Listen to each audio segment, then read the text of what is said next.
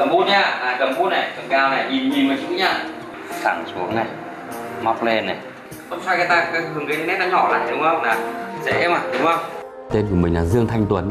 Cái này nó là duyên của mình với nghề thôi. Thì Mình đã gắn bó này cũng mấy chục năm rồi. Thứ nhất là phải cẩn thận đầu tiên. Cái thứ hai là phải óc quan sát.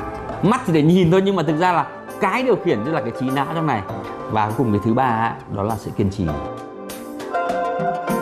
Không phải ai cũng cần viết chữ đẹp Thì mình thấy là cái chữ đẹp ấy Thứ nhất là phải chữ dễ đọc đã. Con 6 tuổi, con sắp lên lớp 1 ạ. Hơi viết sợ một tí ạ. lại nhá đưa lên kéo xuống đưa lên kéo xuống đưa lên. Nào. Mình 35 tuổi. Tính cách của mình là làm cái gì cũng phải nhanh. Nhanh nhanh nhanh nhanh lên. Nhưng mà từ lúc mà mình lựa chữ ấy, thì mình cũng rèn được cho cái tính của mình là chậm rãi hơn và cẩn thận tỉ mỉ hơn. Khi mà mình đã viết giỏi rồi mà mình nâng lên một tầm nữa một tầm nghệ thuật ấy, thì nó cũng là một cái bộ môn để giúp mình thư giãn và tìm những cái giá trị chân thiện mỹ trong cuộc sống.